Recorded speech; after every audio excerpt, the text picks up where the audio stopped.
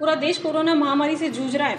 अगर सामुदायिक स्वास्थ्य केंद्र केलारस की बात की जाए तो किल कोरोना को लेकर केलारस सामुदायिक स्वास्थ्य केंद्र में वैक्सीन के टीके लगाए जा रहे हैं। इस महामारी को देखते हुए केलारस सामुदायिक स्वास्थ्य केंद्र में डॉक्टर, नर्स, अन्य कर्मचारी अपने कर्तव्य को पूरी तरह से निभा रहे हैं।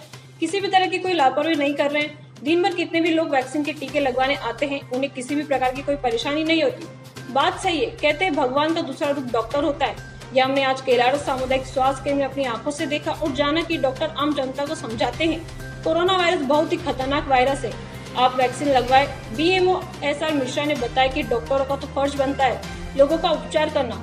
जबकि अब तो पूरा देश संकट में है। इस संकट की घड़ी में मेहनत और लग्न से रात हो या दिन जो शासन के नियमों को पालन करते हुए अपने कर्तव्य को निभाते हैं।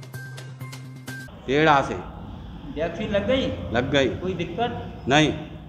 आराम है? आराम। तो ये वैक्सीन लगवाना सही रहता है? सही रहता है। गिरिराज कुमार शर्मा। आपके वैक्सीन लग गई? लग गई।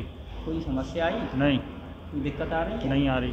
आज सामुदायिक स्वास्थ्य केंद्र केलारस में ढाई सौ प्लस एटीन प्लस को ढाई सौ वैक्सीन लग चुकी है और फोर्टी फाइव को थर्टी वैक्सीन लग चुकी है। अधिक से अधिक वैक्सीन कोरोना वैक्सीन लगाई जाए इससे आपको कोरोना नहीं होगा। ये बात सही है कि मेरा सारा स्टाफ बिल्कुल तन मन से लगा हुआ है, चाहे गर्मी हो, रात, दिन, कभी भी जब मैं आदेश करता हूँ या शासन के निर्देश मिलते हैं, उसमें तत्पर रहते हैं।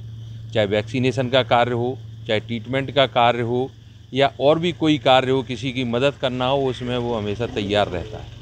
चाहे लड़के हों, लड़कियाँ, सभी जो है, कंधे से कंधा मिला करके काम कर रहे हैं, और मैं धन्य हूँ कि मुझे इस तरह का मेरा स्टाफ मिला है, जो कि कभी काम के लिए मना नहीं करता है।